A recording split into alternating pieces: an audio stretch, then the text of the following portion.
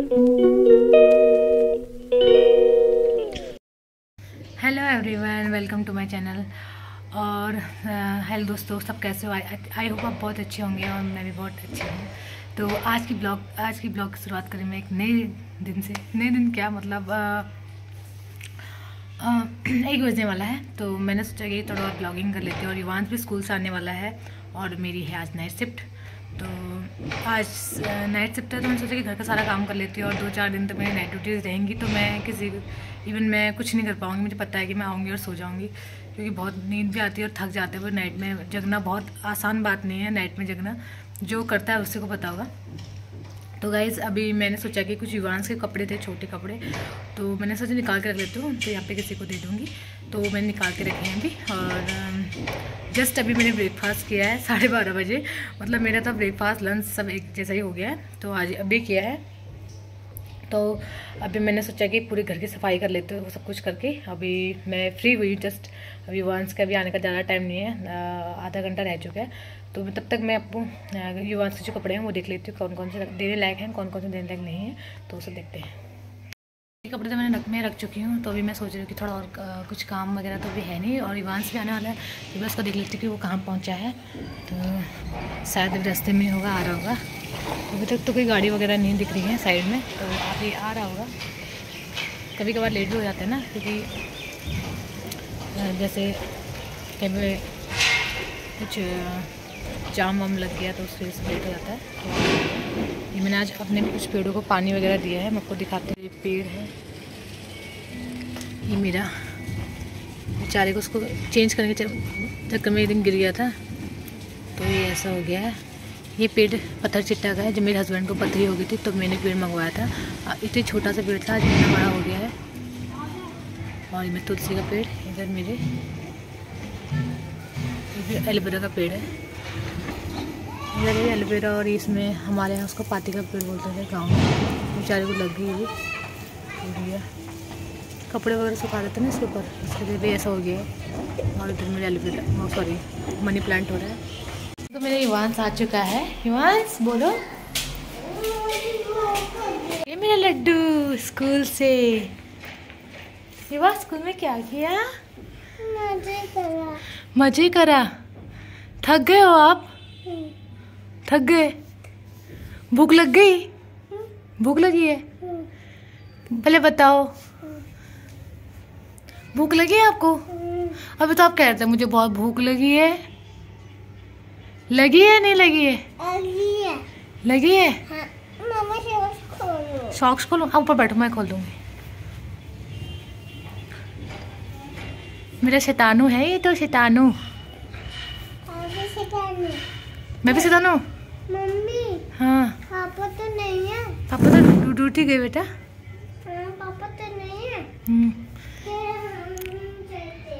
आ जाओ। ये मेरे लड्डू आ गए स्कूल से। अपनी ड्रेस खुद उतारेगी। यहाँ यहाँ पे खड़ो इधर आओ। अपनी ड्रेस खुद उतारेगी मेरी बाबू। मेरी युवांश को तो सब कुछ आता है ना।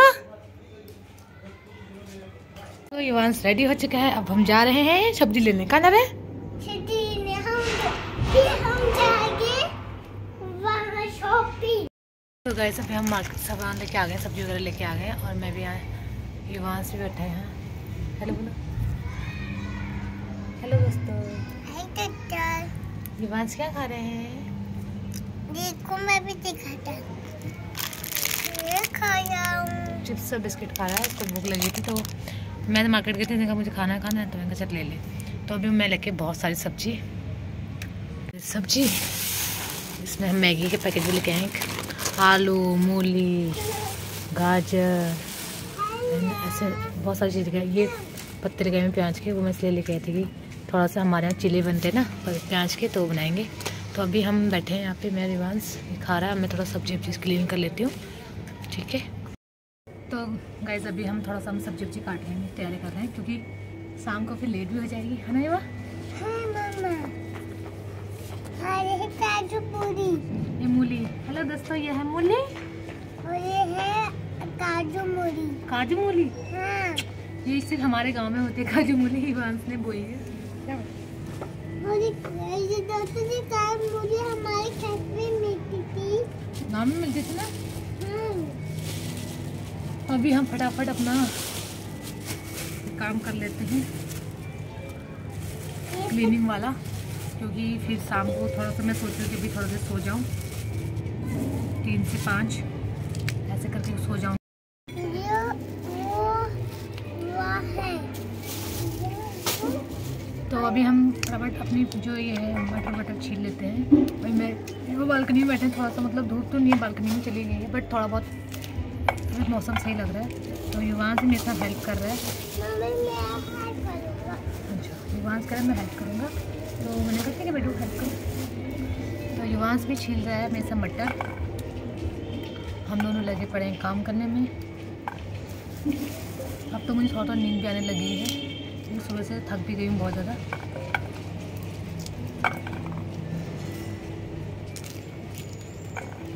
युवांश इसमें डाल। तो फटाफट अपना काम कंप्लीट करने के बाद हम सोने जाने वाले हैं ना वो तो गैस अभी मैं मैं बना हूँ खाना और ऑलमोस्ट मेरा खाना बन चुका है। अब मुझे रेडी होना है ड्यूटी के लिए। तो देखो, मैंने नया चिली, मैं आपको देखा मैंने चिली, प्याज की चिली बनाए हैं। अपने बेटों के लिए। हमारा युवांश रो रहा है कि मम्मा, मैं आपके बिना नहीं रह सकता हूँ। मैं ऐसा बोल रहा था अभी। बोला, मम्मा, मैं आपके बिना नहीं रह सकता हूँ। अब मत जाओ ना ड्यूटी तो मैंने कहा बेटू जाना तो पड़ेगा ना। तो उसको भी समझाना पड़ेगा ना टर्म एंड कंडीशन क्या है हमारी। युवांश मम्मा जा रहे ड्यूटी आपको मम्मा की याद आएगी ना? हाँ। खाना टेस्टी से खाना इडली विडली। तुम क्या लेके गए? साग लेके आए साग रोटी। इडली। इडली बनाने वाला बंदा ये है। ये हमारा चमचम। हाँ तो सिस्टर को इडली पे इडली पसंद आ गई है और लगी है इडली खाने में। पसंद है साउथ इंडियन। अब पूजा तो वैसे भी कुछ नहीं छोड़ने वाली? कौन है? भूखी है बिल्कुल।